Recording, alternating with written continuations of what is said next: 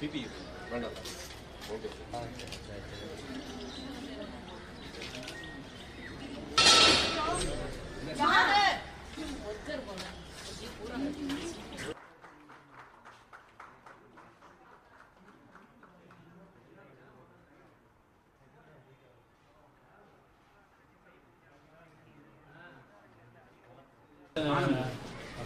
இப்படி தடுத்தீங்கன்னா அது விழுகும். சார் நல்லா இருக்கு. சார். நடராஜ் சார், வாங்க, நீங்க வாங்க. சார் வாங்க